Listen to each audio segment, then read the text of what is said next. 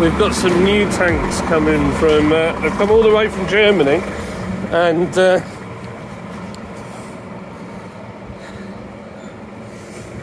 this guy is trying to uh, get down this gap to go all the way down there to get our tanks in. So I might get Steve to help him out because Steve used to drive wagons. And then we've got another wagon doing deliveries down here. And uh, it's all pretty crazy. So we'll see what we can do. Um, all good fun. So, uh, for those that don't know, we ordered uh, some new tanks uh, from Germany that we've had before, um, which have been really, really good. Um, these ones, we ordered them, uh, I think it was last year, and uh, some of the parts come from Ukraine. So, it's been a bit of a wait for them. And uh, there was some trouble with customs, and they were meant to be here last week. And this morning, I emailed our uh, person to say, uh, when do you think they'll be coming? And I literally got an email saying the latest will be tomorrow. And then 20 minutes later, I've got this huge Scania that's rocked up. But um, we've got a very awkward loading position because we have trucks and cars everywhere. So, um, and then just to make matters even harder, we've got scaffolding all up the front of the building. So uh, that's going to make it extra sketchy, but we'll see what happens. So uh, it's all very exciting though. So uh, here we go, got it all here. How you feeling, Steve? Oh, super excited.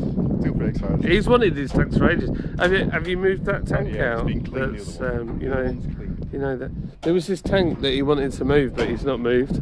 He's delayed it all. So uh, I'm treading on thin ice, I? By saying anything. I'm not. I'm, gonna, I'm not going to say anymore.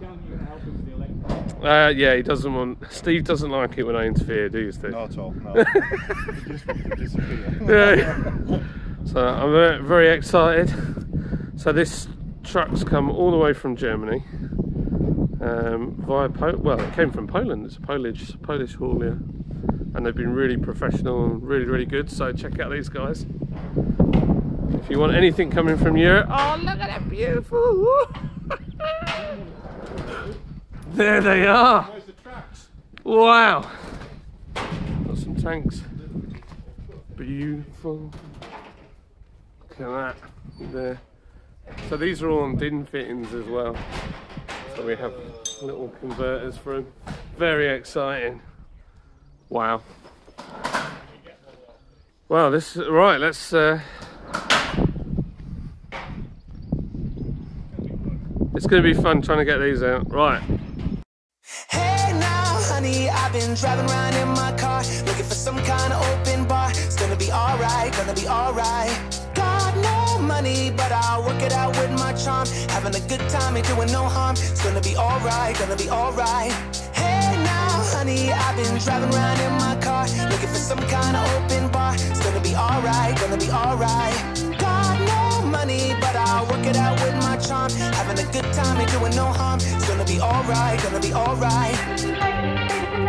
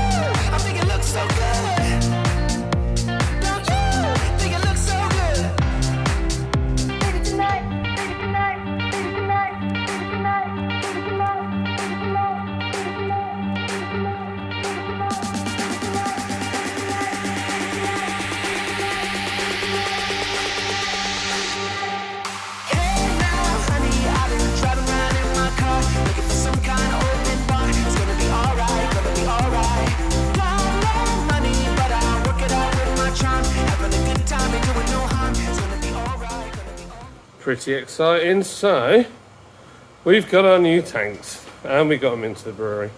So, uh, they're not as heavy as they, you would think they are. The only thing, might, I honestly think there's no, uh, they haven't given us the pressure gauges for the top. So, be inside. yeah. Not doing anything wrapped.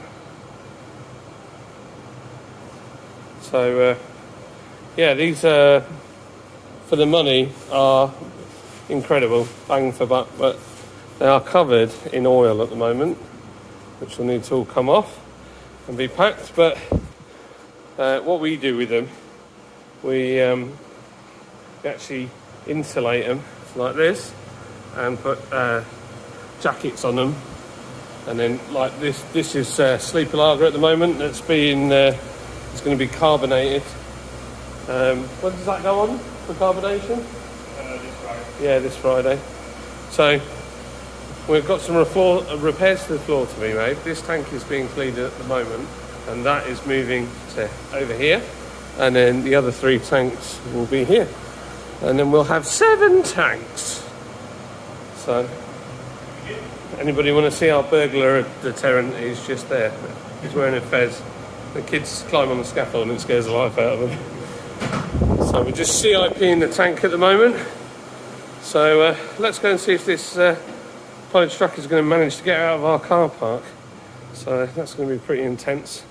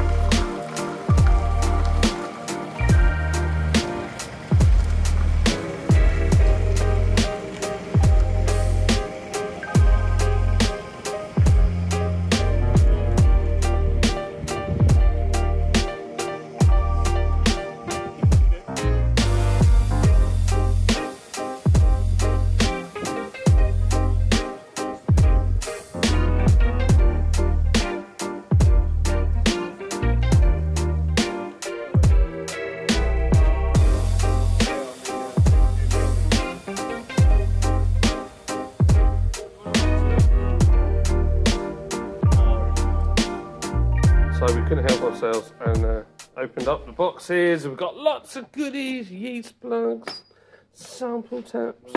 These are for CIP. Not a design we've seen before, but we'll give them a go. And pressure valves, which are in here. And they gave us a spare seal, which we wanted. And that's in inside the tank. It's of the beautiful beers made. So, uh, Mike, do you think it was as bad getting them in as we thought it might be? I wasn't massively worried in the first place. You, It was you that was worried. I wasn't worried. I was asking you, and you were like, "No, it never happened like that." Well, you were talking about using a pound.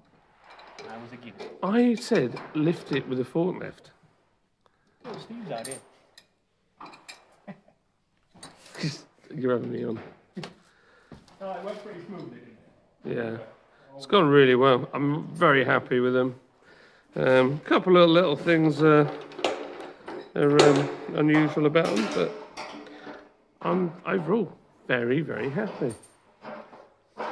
We've got a couple of little dents here and there, but to be expected coming all the way from Germany. So, yeah, don't forget to buy your mini kegs online.